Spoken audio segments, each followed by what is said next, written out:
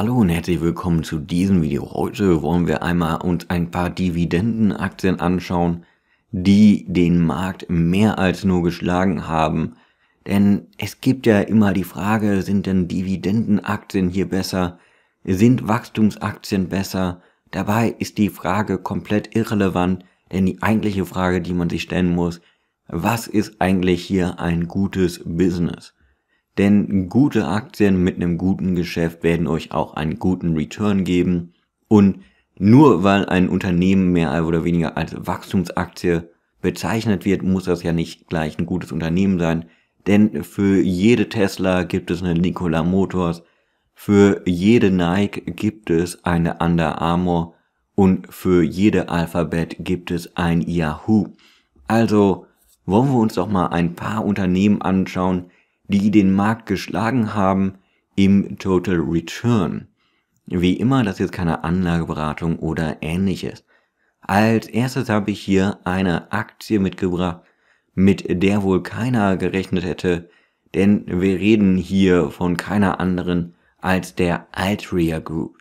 Ich habe hier als Zeitraum 30 Jahre einfach genommen, da 30 Jahre nun mal für die meisten auch ein Anlagehorizont sind, also wenn man hier wirklich Richtung Buy and Hold geht, finde ich 30 Jahre durchaus einen realistischen Zeitrahmen. Wenn wir uns das Ganze hier anschauen, dann sehen wir, dass wir bei Altria ein Annual Return von 14,98 haben. Natürlich ist es so, dadurch, dass wir hier einen Drip Calculator äh, benutzen, ist es so, dass wir keine Steuern auf die Dividenden zahlen und sie eins zu eins direkt wieder reinvestieren. Jedoch gibt es auch eine Sache, die natürlich hier positiv noch angemerkt werden muss, denn wenn wir einmal hier runtergehen, dieser Rechner berücksichtigt keine Spin-offs. Und Spin-offs gab es hier bei Altria zwei, die mir bekannt sind und wir fangen hier direkt mit dem ersten Spin-off an und das ist Kraft Food welche nachher auch einen Merger gemacht haben mit Kraft, äh, mit Heinz, glaube ich. Deswegen heißen sie jetzt auch Kraft Heinz. Und das gab's im Jahr 2007. Und das war's noch nicht alles, denn neben diesem Spin-off von Kraft Foods hatten sie noch einen weiteren Spin-off und das ist die Altria Group gewesen. Man sieht ja auch, ähm, dass man hier äh, auch als Altria-Aktionär wieder Philip Morris Aktien bekommen hätte. Also wir hätten ja nicht nur den Total Return hier von Altria, sondern wir hätten auch noch Philip Morris Aktien und Kraft Heinz Aktien und deren Dividende und die können wir auch noch reinvestieren. Also wir merken hier, obwohl wir eigentlich eine Aktie haben, die, ja, sagen wir mal, für viele eher uninteressant ist, hatten wir hier über die letzten 30 Jahre ein gutes Wachstum. Natürlich können wir nicht sagen, nur weil die Aktie jetzt in den letzten 30 Jahren gut war, dass sie auch in den nächsten 30 Jahren gut performt. Das wird sich halt zeigen. Wenn wir dann aber weitermachen, dann haben wir eine weitere Aktie, die mehr oder weniger das gleiche Problem hat, nämlich Spin-offs. Und das ist jetzt keine andere als Pepsi, hier hatten wir auch ein Annual Return von 11%, was gar nicht mal so schlecht ist. Ist halt leicht über dem Markt, aber wir hatten hier auch noch den Spin-off Yum Brands. Und äh, Yum Brands ist sogar sehr interessant, da sie sogar eine richtig gute ähm, ja, Wachstumsaktie sind.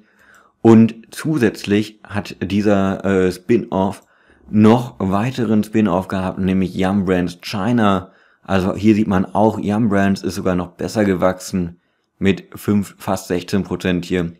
Und dann hatten wir noch den Spin-off von Yum Brands China. Also hier hat sogar der Spin-off bereits einen Spin-off gemacht. Und das ist auf jeden Fall sehr, sehr interessant. Aber kommen wir zur Hauptaktie. Und hier haben wir mal eine Aktie, die jetzt nicht schon äh, seit 50 Jahren, glaube ich, bei Altria und, ähm, oder ziemlich lange zumindest bei Altria und Pepsi. Ähm, hier haben wir die Tractor Supply Company. Das ist ja auch die Top-Position in meinem Depot. Man sieht hier auch ein Annual Return von 25,63 Prozent. Das ist natürlich auch dem geschuldet, äh, dass wir hier nach 2020 auch sehen, wie die Aktie eigentlich nach oben schießt. Ähm, man könnte auch sagen, okay, die sind jetzt ein Ticken überbewertet, aber ich finde sie jetzt, ähm, selbst wenn wir mal sagen 25% zurückkommen, fände ich sie immer noch dann halt fair bewertet. Also ja, man zahlt ja aktuell doch ein bisschen einen Aufschlag für die Qualität, aber man sieht hier auch einen super starken Annual Return. Da ist natürlich die Frage, okay, ähm, Sie zahlen erst seit 10 Jahren Dividende, haben Sie eigentlich jetzt dadurch, dass Sie Dividende zahlen, jetzt auch einen schlechteren Annual Return? Und dafür habe ich einfach geguckt, seit wann zahlen Sie äh, die Dividende? Und das war ungefähr am 10.3. war der Ex-Date, also habe ich gesagt, okay, eine Woche vorher investieren wir mal in die Aktie und schauen, was seitdem der Annual Return ist. Und wir sehen hier, es ist auf jeden Fall immer noch ein sehr guter Annual Return, der sogar gestiegen ist.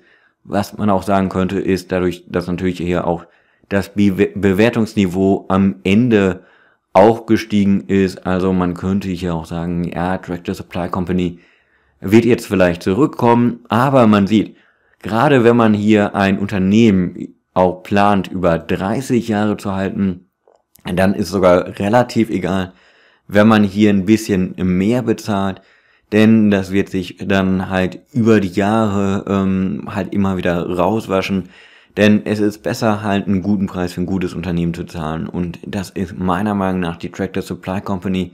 Also wir sehen hier über 25% Total Return.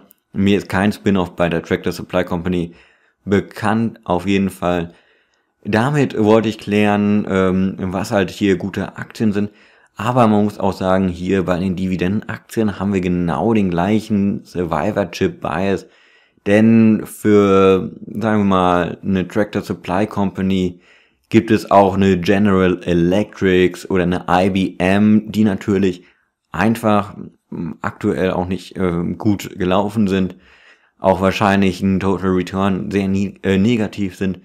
Aber ich wollte damit zeigen, wenn ihr ein gutes Unternehmen findet, das über lange Jahre hinweg gute Ergebnisse liefert, dann werden sie auch im Aktienpreis euch das belohnen und mit einem langen Zeithorizont wird euch ähm, hier auf jeden Fall ein sehr guter Annual Return gegeben. Wir sehen hier auch, gerade mal 1000 Euro hätte man in die Tractor Supply Company investieren müssen vor 30 Jahren um hier fast 600.000 Euro ähm, dann als äh, Final Value zu haben. Also würde man natürlich die Dividende reinvestieren und die Steuer natürlich dann noch zusätzlich aus der eigenen Tasche zahlen.